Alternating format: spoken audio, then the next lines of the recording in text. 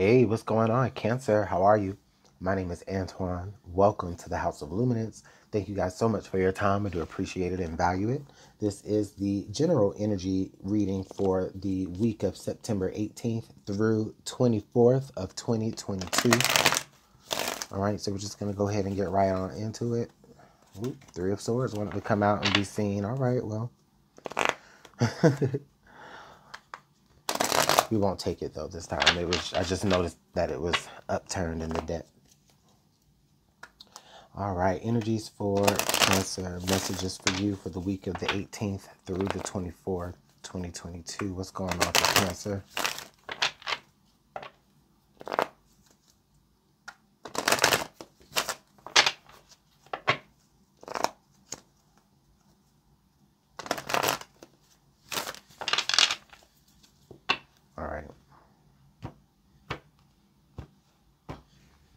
So Cancer, your challenge here is the Two of Pentacles. All right. So you might have a lot on your plate this week, I see. Okay.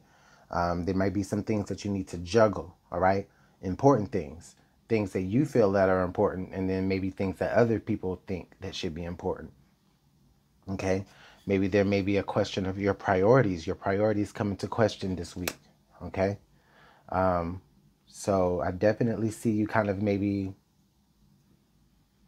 straddling your responsibilities. Okay.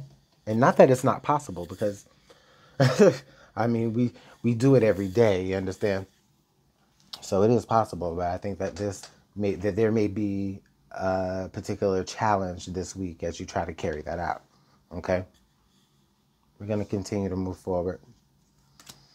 The Queen of Pentacles, the Eight of Pentacles, and the King of Swords. Mm. Okay. I feel like uh, how much energy should you give to yourself versus how much energy you should give out to others. Um, you know, I think that Cancer, you, there, you have a really giving energy. You have a really giving spirit this week. All right. And, um, but not even just this week, just in general. You're very, you know, you're very generous, you know. Um, you put a lot of passion and hard work into your craft, okay, because you take pride in it. This week, though, you need to make sure that you use some of that for yourself. I feel like that's where the choice of priority comes into question, okay? Because now it's like, all right, well, listen, I got to get myself together before I can continue to help anybody else. You might have to start laying down some rules, laying down some boundaries that I see here with the King of Sword energy, okay? So moving forward here, now we have the two of swords. So, okay, yeah. So it's definitely a, a here or there or this or that. You know, it's it's like, hey, it's you or me.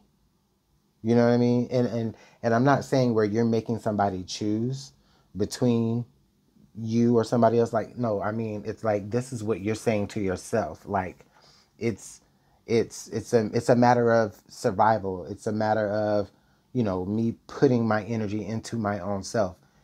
Either I can continue to do that to for them to my detriment though. Or am I going to go ahead and start boosting myself? You understand? Yeah, they might not like it. You know what I mean? But at the same time, hey, I mean,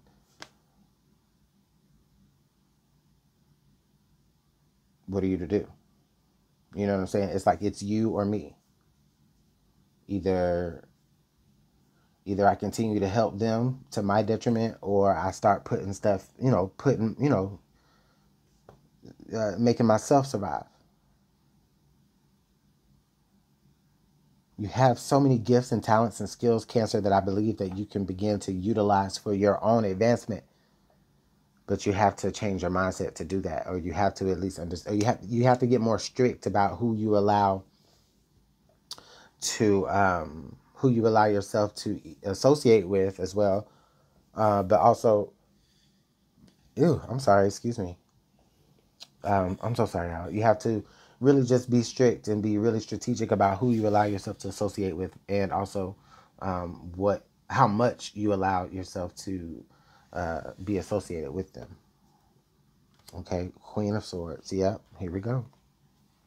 Queen of Swords, and then the Five of Pentacles. Okay, so it looks like, honestly, it looks like you're probably going to have to start cutting some people off, Cancer, and that's why that Two of Pentacles is there right at the top of your challenge part of the reading. You're going to have to start cutting people off. It's going to feel lonely. It's going to feel like people are saying, oh, cancer's cutting me. And see, they're not going to expect that from you, Cancer, because see, Cancer, you're supposed to be the one who feels. You're supposed to be the sensitive one. Right? Cancer, you're supposed to be the one to take it on the chin all the time. You know what I mean? And that's not what that's no. It's like it's nah. I, I I have to start making some moves, and they're not gonna like that. It's gonna be some relationships I feel with the King of Swords, whether it's relationship like uh, uh excuse me, whether it's romantic relationships, platonic, familial, you know, uh professional relationships. It doesn't matter. Like whatever this is, as soon as you begin to say, all right, I need to start working for myself or I need to start, you know, doing some self improvement, self care, as soon as you start talking about self care, you know, it becomes either they ghost you and they leave you behind or you get to a point to where you have to cut you have to cut them off okay so I want I'm interested to see what else we got. Okay. Oh, look what that leads to the Ten of Cups and then the Princess of Wands. And then the Four of Wands. Yes, so it's more kind of like getting rid of bad apples, getting rid of bad seeds so that your Ten of Cups situation can manifest. Okay. Um, it's one of the first beginning steps that you need to take here with the Princess of Pentacles. There's a path. All right. And also the Princess of Pen- Pentacles in relation to the challenge card here, the Two of Pentacles, see the princess or the page, she's chosen her path. And all she has to do now is, you know, go down and walk it. Okay. But I do feel like there's like a on the fence energy, like I kind of spoke about earlier, only more so due to the fact that you know you're at a point now where, like I said, you have to look and be like, all right, it's it's I have to choose myself or or I'm not gonna survive. You understand? And for some of you, it actually may be that dramatic. And it may be even like somebody really close to your home or someone that you live with. I definitely feel like it's a person that um, that you're really in a close relationship with. But the thing is, is that it's the king and the queen of swords. So while they are the king and the queen of swords, you know, there's there's probably a lot of miscommunication. There's probably a lot of, um, I I see what's what's the uh the uh what is it called? when you don't um, the silent treatment yeah i see like a lot of silent treatment like being used as a form of you know passive aggressiveness in a way. All because you decide that you you want to do better for yourself. And the thing is, is that you weren't even probably weren't even really like discussing leaving somebody behind completely but it's come to a point to where you will actually have to cut them off because whatever change you're trying to make, or only because of the fact that you're trying to do something for yourself, it means that they're more concerned about benefiting from the situation because you were providing something. So I'm gonna pull some um, some uh, fortune cards here from Madame Endora because I'm just very very interested in kind of seeing how we should really approach this cancer because I see where all you want to do, you know, I mean, you got priorities, you got bills to pay, you get, you got mouths to feed, you know what I'm saying? You got people that you care about, other things that you care about as well. And it's like, okay, it's time to start making some priorities. And unfortunately, there's somebody or there's something out here that just does not, it's not as big of a priority. And so what? You need to make a shift. You need to make a change. And now that person is, is all woe is me. But that's what it has to occur in order for you to begin to initiate those steps towards that 10 of cups like i said okay? I don't think you're going to be you're you're not even going to miss that energy too much. In fact you're probably going to be you're probably going to feel lighter.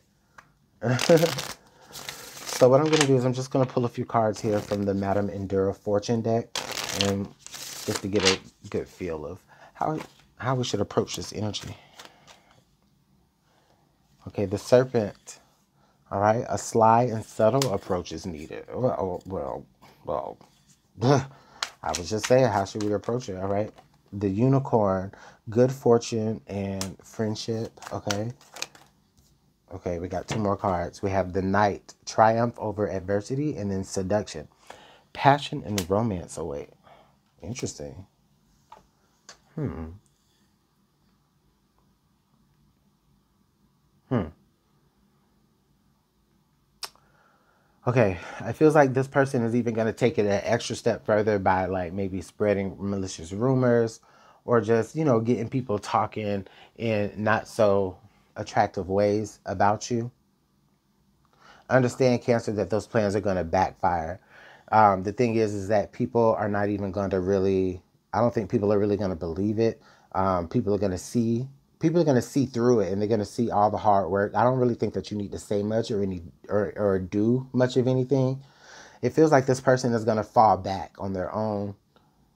Um, they're going to catch hints, right? And they're just going to fall back on their own, okay? And which is going to be work out good for you.